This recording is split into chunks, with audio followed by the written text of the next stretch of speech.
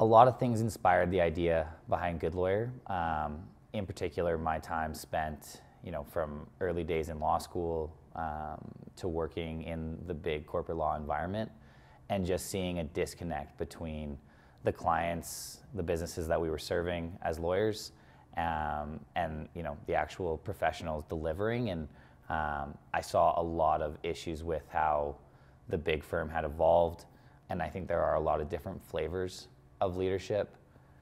You know, there, you can be loud and boisterous, and I'm, I'm a little bit on that side of things, but you can also, you know, be a really effective leader in a much quieter, more subtle way. So, trying to lead by example, and then, you know, figuring out how to empathize and deeply understand the folks that you're trying to lead, and figuring out, you know, what's important to them, and you know, how can I align your interests or desires as an individual with the broader interests of the organization. And I think the ability to connect those dots is um, where you're going to find, you know, sort of the best leaders.